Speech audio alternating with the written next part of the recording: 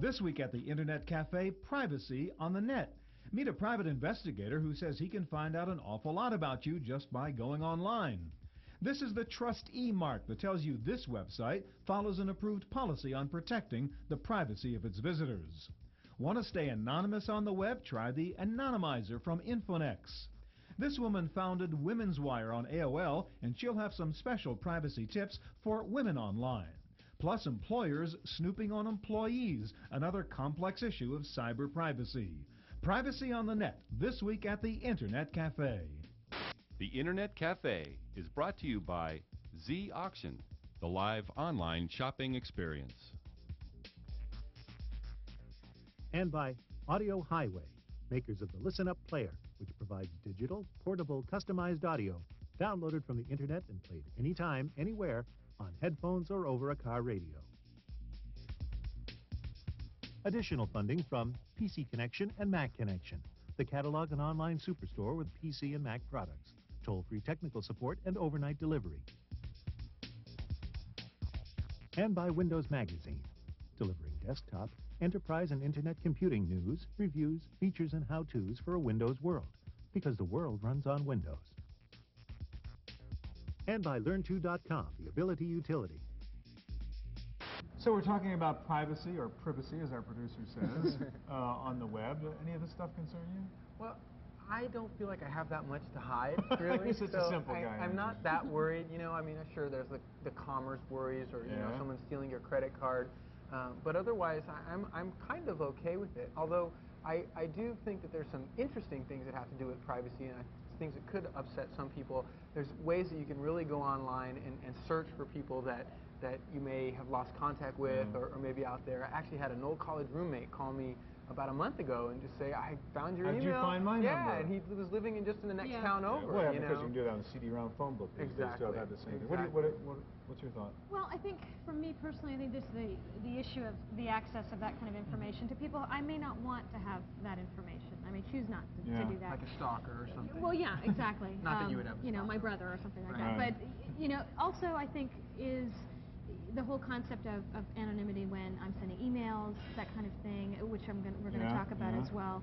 Um, I guess there's just different layers of, of privacy. I think there's two kinds of privacy about. issues we're really talking about, and they're quite different. One is commerce and the credit card and that kind of stuff, and the other is just your personal behavior. People Right. like going through your trash and knowing what you do. Right. And yeah, interesting stuff. Privacy on the web this week here at the Internet Cafe.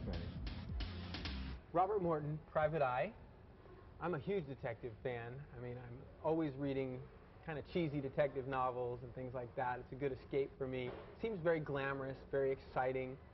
What is the life of a PI really like? It's fairly interesting. Um, it's changed over the years from what people typically would envision.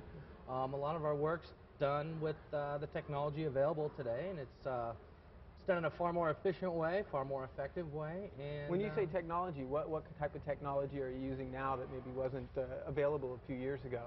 Well, you always hear people say, get with the times. You know, if you don't have a computer in your house, it's Mhm. like, come on, get with the times. Get a computer. You don't have email? Well, it's not our job to be with the times. It's our job to be ahead of the times. So we've been involved with computers, our industry as a whole, for years. And you're what searching, finding information? What what types of stuff are Sure. you doing out there? Sure. We access our information via the internet Uh-huh. through various database companies or just online surfing. You know, the, the- you don't need to go to the library anymore today. You To know, find our, information. Our job's to find information. What better source than the internet? It's Right. right, in our office. We don't have to leave and, and go all over the place. Right, right. It can all be done right there. Okay, now speaking of offices, I've been up on the web and I saw that you have a site up there, Mm-hmm. um, the Robert Morton Private Eye site. What's the name of your company? Robert E. Morton and Associates. And Associates. Okay, so there's a, a group of you guys out there. yes.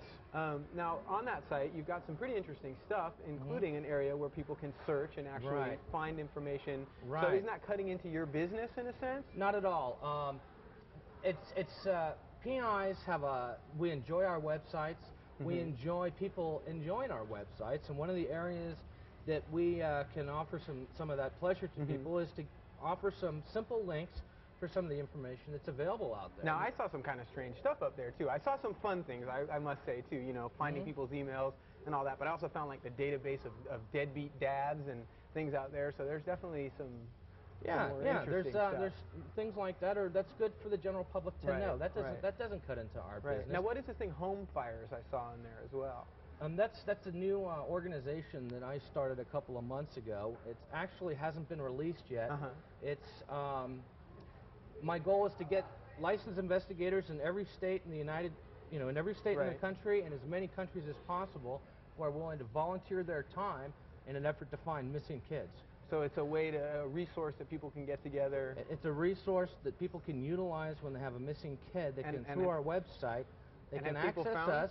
Yeah, we uh, we've had one case and we found one kid. Really? One for one. Excellent. So that seems like a great service. Now, yeah. as a as a private eye, what are some of the things that you can provide that possibly you know people couldn't get just by surfing the web? Convenience, we know right where to go. Um, something that might take you days or weeks to Mhm. find, we we're right there. Um, in the past, I'll give an example. Uh, a criminal uh, criminal searches. Mhm. Um, it wasn't too long ago, and some court uh, courthouses are still the same way. You have to go in and, and flip through the microfiche and all that and do it by hand. Well, from my office, I can run a national uh, search for uh, criminal uh, records, And just civil, find stuff right court- away. Right away. So what do you think is next for online detectives or detectives that are going online? Where do you see the future heading? Jeez, that's uh, that's a big question, Mhm. and um, I don't really have a, a specific answer for you right now. I think things are changing by the minute. It's an Mhm. exciting time, just Mhm. for everybody in public, but for PI everybody. This Right. this uh, internet computer era is changing the way all jobs operate in uh, industry, and especially ours. Great. We are uh, um, out there, in my opinion, um, you know, cutting a cutting a path in an investigative avenue that's never been cut before. Right.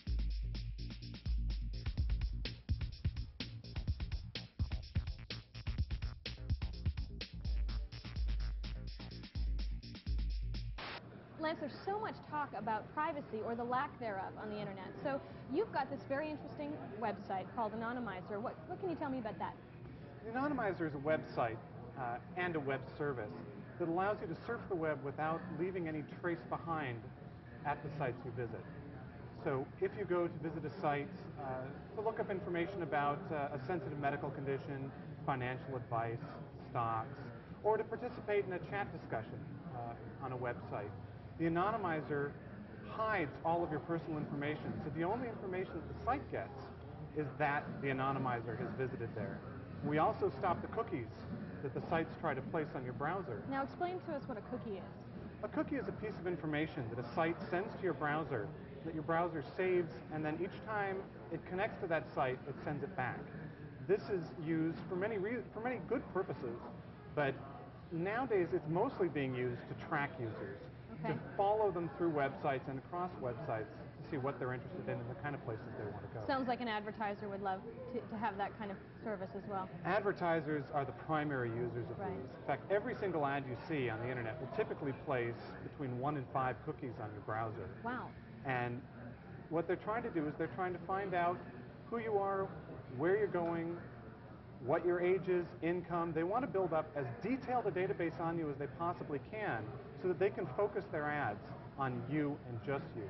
But the real fear is that these, these databases are being sold, they're being distributed, and you never know where they're going to end up. So, for example, if I went to a website and I was concerned about a health problem, I might have gone to a website that I wouldn't want somebody else to know about. My concern would be that that cookie might be sent, that information may be sent to somebody who could use that against me, or that's right. The, the advertiser may be saving that information. They now have in their database the fact that you've been visiting this website, looking up information about this particular condition. At some point, this database might end up being sold to, for instance, your insurance company. And there's really no precedent yet as to how that information might be used. but that could be very significant in terms of privacy. That's correct. Now, from the other end, I mean, for one thing, I could be browsing and I want to have anonymity that way, but what about sending emails? What can I do to protect the privacy of the emails that I send? There's a similar service for email, and it's called Anonymous Remailers. And it allows you to send email, in this case, not just to one server, but through a whole chain of servers using encryption. These servers are located all over the world. And this can be done either right in an email program or using any of a number of clients. So what's the level of security? I mean, would you say it's fail-safe or? The security of the anonymous remailers is really bulletproof. The threat model is monitoring of every node on the internet and some compromised remailers. That's a little better than the anonymizer, which is just a single site, but still provides pretty good security. Now, Lance, you've called yourself a cypherpunk. Now, what exactly is a cypherpunk? A cypherpunk is a member of a loose affiliation of people on the internet. The, the sort of central tenet of the cypherpunks is a belief in freedom of speech, freedom of expression, and freedom of cryptography on the internet. We feel that regulation of the internet through laws to protect people, protect their privacy is really inappropriate and tends to be invasive. And that the key is to give people the technology to protect themselves. So basically, my own PC, I can encrypt everything that I send out, or if I go and browse the internet, That's I can right. maintain my the privacy. technology exists to protect your information with a level of security that the government can't break in a billion years. Uh, and we feel that this is already deployed, and we want to make sure that it's available to everyone, not just the technological elite.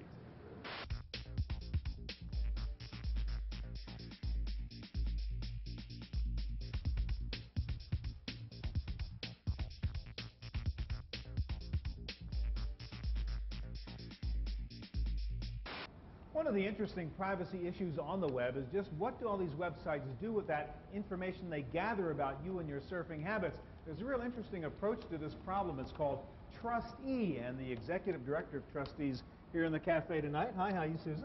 Fine, thanks, Stewart. Tell us about TRUSTe. What's the idea behind it? What we're trying to do is address the problem that many consumers and end users are very concerned over what happens once their personal information is disclosed to a website. And that's the, that's the problem we're trying to address. All right, what do we mean by personal information? I mean, are we just talking credit card numbers or, or surfing habits and what kind of stuff? I think it's, it's all of the above. It's your name, your address, email. You know, if they're, if they're counting your click stream and they can, Right. they can match it back to you personally, that's all personally identifiable. Okay, so what is TRUSTe going to do about that? What we are advocating is that websites disclose what they're going to be doing with the personal information. And based on that disclosure, the users will give their informed consent whether they are, are fine with the privacy policies or not. If they're not, they won't give the information out. If they are, they'll, they'll give the information. Okay, so the problem is, first of all, a lot of people don't even know their information is being gathered or their, their click stream, et cetera. And secondly, they don't know what these people are doing with it.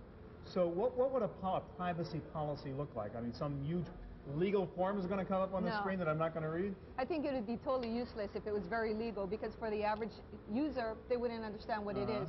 We want it to be very straightforward. Number one, what information are you collecting? What are you going to be doing with that information? Who are you sharing that information with? And is the user allowed to opt out, change any information, or remove themselves from the list? All right, so this is kind of like a Better Business Bureau seal of approval or something. So Exactly. if a website agrees to follow this, some sort of acceptable policy, they can put their a little TRUSTe sign up there. Right. Say, we're good guys, we've agreed to the TRUSTe Exactly right.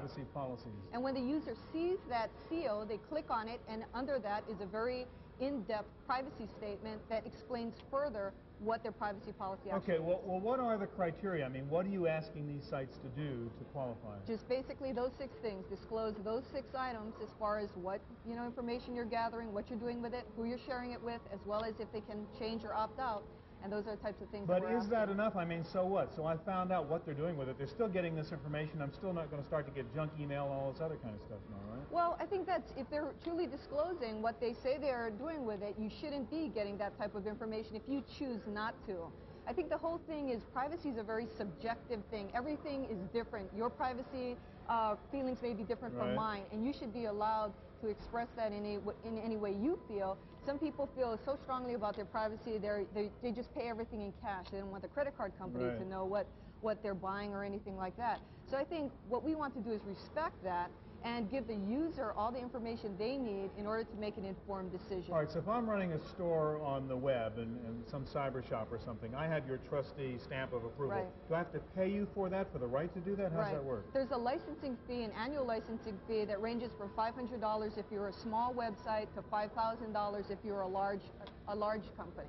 All right, and so I've paid you this fee. Is that it? I mean, do you then continue to monitor me to make sure I do what? Uh, who polices this thing? TRUSTe will police that, and what we do is we have a series of reviews that need to be passed. We have random audits that are done by Cooper, Coopers and Lybrand and KPMG Peat Marwick. They actually go out and do an on-site privacy audit. As well as online reviews by the TRUSTe staff. All right, now who's backing you guys though? I mean, are you part of the cyber shopping industry? Or are you an outside group or what? Well, we're, the industry is supporting us, and we have 12 sponsors right now. AT&T, IBM, Lands' End are a couple that we Guys have. who want to get cyber commerce to work. Exactly right. Who have a, a big vested interest in e-commerce taking off. Yeah. And what's on your website? You have a website too, right? Yes. TRUSTe.org. Right. And what's on our website is basically our licensees. We're also trying to really use that as an educational Mhm. uh, site for consumers to come on, learn how they can protect their privacy online, to report any violations for us so we can follow up on that also. Also, we have a, a publisher side of it where we're encouraging Yeah. publishers and educating them as far as why privacy pays. All right, let's go check it out. Okay.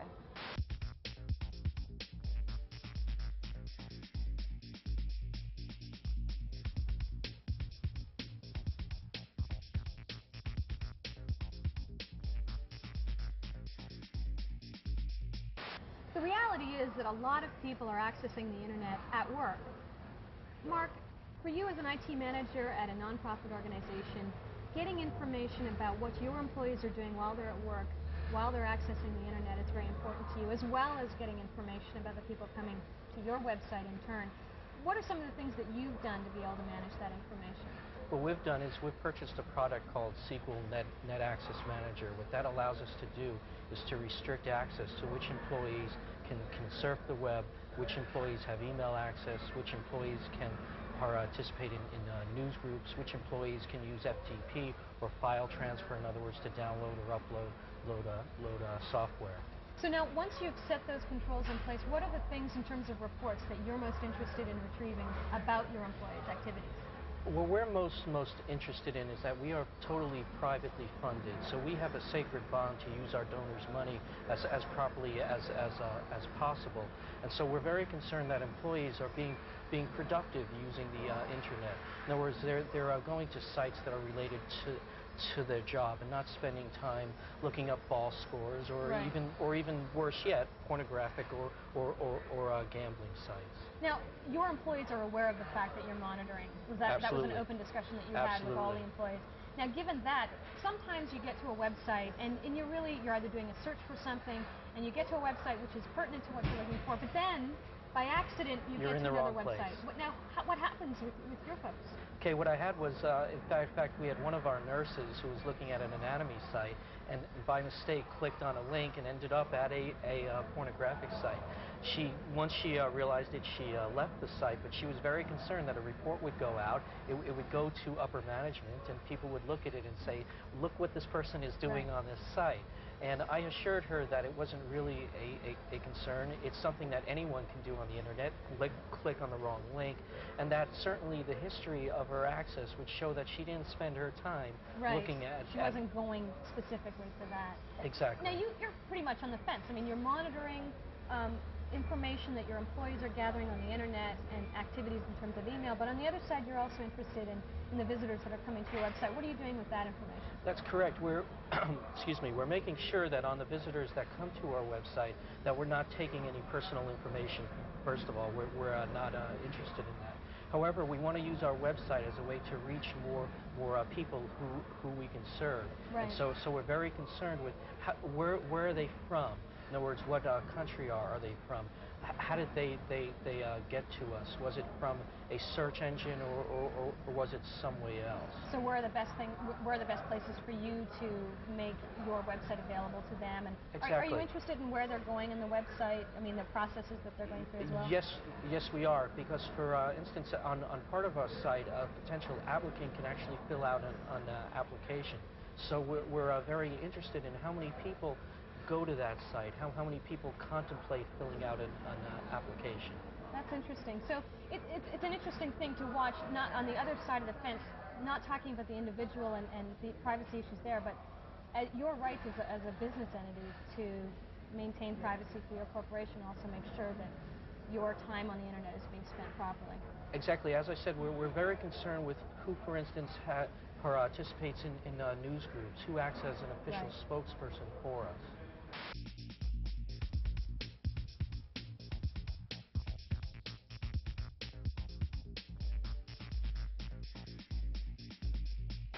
Right, so I guess the question, Nancy, is it seems to me in cyberspace where there's no guy who can hit you over the head, you know, and, and physically hurt you. Right.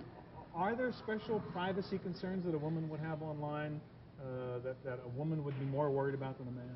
I think so. I think that um, because there's anonymity online, that that um, some of the rules that of etiquette aren't established. There is an etiquette, but there still is a ways to go. So Um, because people can be anonymous, they'll do things I think, um, online that they wouldn't do necessarily in person because the social But I mean- mores would keep them from doing all that. they can do is, is say bad things, right? Exactly, but it becomes very annoying. For instance, on, on one particular online service, you get uh, flashes of sort of uh, um, instantaneous messages that come across your screen. right. Well, that's more like walking, if you're on a hike and you go through a little cloud of mosquitoes. It's annoying. Okay. And what you want to be able to do is we always say tools, not rules.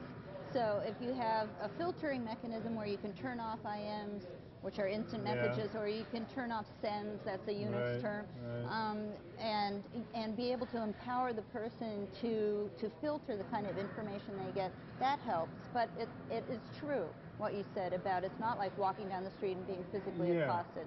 But it, it can be scary if somebody threatens to take it into the real world. I think that's where women get scared. And there's some things you can do about that. All right, well, let's back up for a second. I mean, is it sort of sexual harassment you're talking about? I mean, guys Yeah. that will say just nasty, rude things to women online? Yeah, pretty much. It's not even so much that it's nasty or rude, but just real point blank, like you want to have sex. Yeah, you know, it's yeah, just like no yeah. beating around. Right. You know, and uh, so it's like no, no, and and pretty much I've found from being online for 10 years that if you ignore it, that it just goes away, or if you just um, the next thing you can do is just be really terse and say no way, get a life.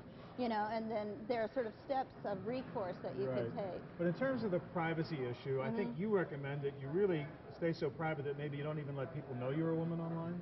Um, I d- actually don't do that myself. I use Uh-huh. my full name online. Okay. I also work in the online world, so Yeah. I, as my business But how about that? Would you recommend that people, that a woman mask herself behind a, a I, male I handle? don't. I can't recommend that because I don't do that myself. However, I know some women that do do that, and I Uh-huh. know some men who have had a woman's name Yeah, the to irony try is, it I mean, out. a lot of guys say, hey, log on as a woman, you get more attention. You get a lot of attention, yeah, Right. but it's real shallow attention. It's Yeah, not necessarily yeah. deep, wonderful conversations, or you know, it's, it's just kind of uh, the mentality. You feel like a bunch of 13-year-old Yeah. prepubescent boys are hitting you up, and it's just kind of irritating. It's really, it's not. I never have felt personally frightened. However, I don't want to minimize the fact that some women have had things happen to them. But it seems to me that it ha- most of the cases I know about happen to be from an ex-boyfriend or an ex-husband, not a complete stranger. Tr- Trying to get back to this issue of preserving your privacy as a woman, Mhm. you said something before that's interesting. The, the real fear is that this goes somewhere into the physical world where Right. it really could get dangerous. Right. So what should a woman do to make sure that doesn't happen or it happens Well, in a safe way? For one thing, you yourself and you teach your daughters never, and your sons for that matter, never give real information to a complete stranger in your in your profile or your little biography online. Don't But put where you you know when they stop becoming a stranger? Yeah. Oh, I think um, I've heard women that have met people online Yeah. and dated that Right. that they always meet in a public place. Okay, For one thing, that's you it, never yeah. give your home address, never give your home phone number until you've had a lot of chances to feel like you've gotten to know the person. Okay. Then meet in you know in a in a in Okay. a separate place. Any public place. particular websites you would recommend a woman go to looking for information, just resources on this issue of women's privacy on the web?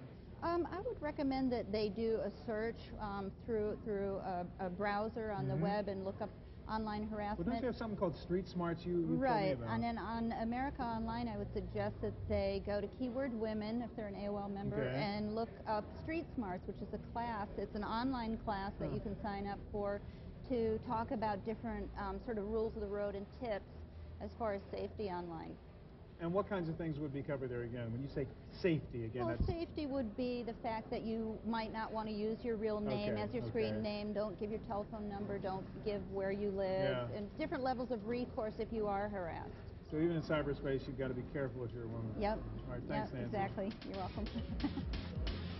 All right, so we've learned a little bit more about these privacy issues. You still don't care. I mean, they can Well- follow you around on the web all they want. Well let me tell you a little story. Actually, I've had a glimpse into having your privacy burst. My my aunt uh, uh, I found out was, was going onto a lot of chat sites and really into it and was actually in some kind of racy sites, if you will.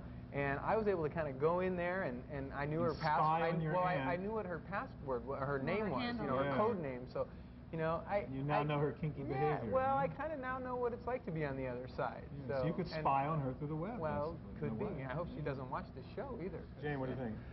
Well, I kind of tried to take a slightly different view and understand from an organization's perspective why they'd be checking what their, their employees are doing. That kind of privacy. And you know, even though I can understand that you know there's an accountability to the people who are paying for this nonprofit organization, Mhm. the whole nine yards, but I still just had this really strange, you know, not a comfortable feeling. I mean, there's a level of, you know, you want to be I, able to go I and look. I agree with you. Yeah. I think there's a mistake. People are so used to radio and television, which is a one-way medium. The web is two-way. People can follow you, trace your actions. I think there are very serious issues there. Uh, you know, there was that old New Yorker cartoon on the web. They don't know you're a dog. These days, they not only know you're a dog, they know what you're eating and where you're sleeping. So Hmm. I think it's serious stuff. The Internet Cafe is brought to you by Z Auction, the live online shopping experience. and by Audio Highway, makers of the Listen Up Player, which provides digital, portable, customized audio downloaded from the internet and played anytime, anywhere on headphones or over a car radio. Additional funding from PC Connection and Mac Connection, the catalog and online superstore with PC and Mac products, toll-free technical support and overnight delivery. And by Windows Magazine, delivering desktop, enterprise, and internet computing news, reviews, features, and how-tos for a Windows world, because the world runs on Windows. And by Learn2.com, the ability utility. To purchase a videotape copy of today's program, call toll free 1 888 310 7850. Please specify show number and topic.